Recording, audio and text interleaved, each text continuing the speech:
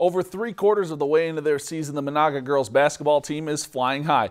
The Braves are 14 and 4 and have won eight of their last 10 games while averaging nearly 70 points per game in those contests. Tonight they hosted 15 and 4 New York Mills, looking to continue their winning ways.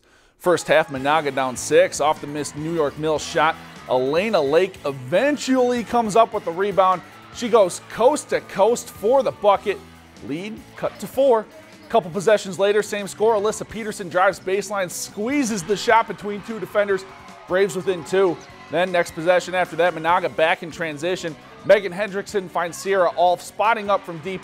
She drills it to give the Braves the one point lead and then back down a point. It's Courtney Kobernick's turn to join the party. She drops home the layup to give the Braves the lead. They trail by one at the half though, but they come back and win 75 66 over New York Mills.